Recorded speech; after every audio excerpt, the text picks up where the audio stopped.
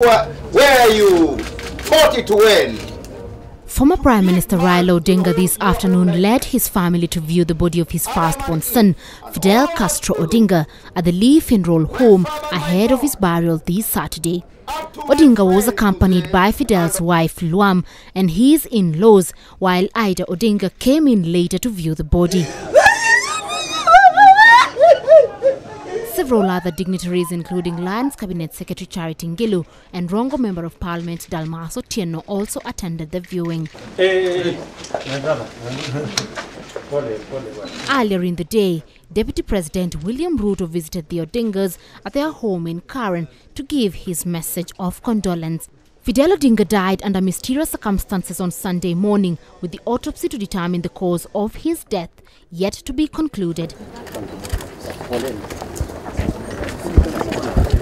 Jen Guin, Capital TV.